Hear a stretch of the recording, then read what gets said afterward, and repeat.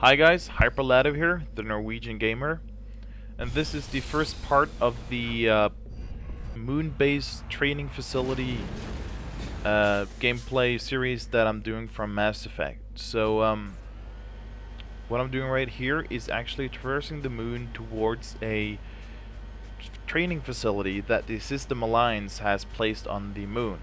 And the System Alliance is the um, kind of a UN of the different colonies and planets that humanity has uh, colonized. So um, now they've contacted me and asked for my help because this training facility, which they use for training Marines, uh, has gone rogue, or rather, the VI, the virtual intelligence in this in the facility, has gone rogue.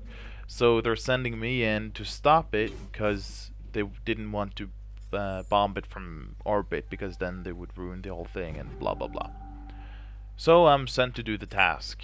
Um, in a little while here I'll be skipping over a part because I was failing horribly two times before I could pass this next room because the drones just kept coming straight towards me and annoyed the heck out of me. So um, as we'll see here in just a second I um, use a tactic where I just retreat, retreat into the previous um, uh, hallway here, just to kind of uh, bottleneck them towards me, uh, because they kept flanking me and it was freaking annoying. So that's basically what I'm doing here. And what really annoys me is that the NPCs, the guys that I have with me, they keep running in front of me when I'm trying to shoot, like this. It's like, get out of the way, because I don't want to shoot you. Take down your shields.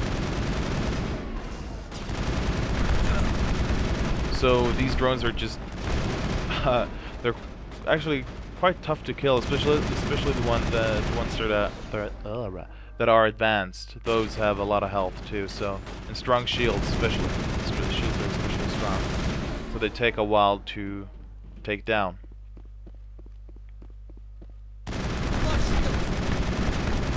So what I'm using here, uh, the crosshair is different right now because I'm using a ability that that I have which is which um, gives me awesome accuracy or accuracy. I always pronounce that word wrong. It gives me awesome accuracy and it doesn't make my weapon heat.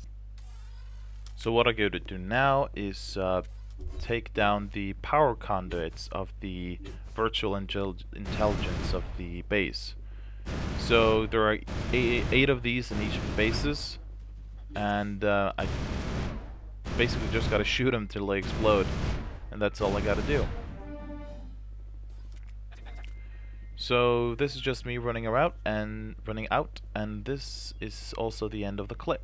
So I hope to see you next time. Snackis.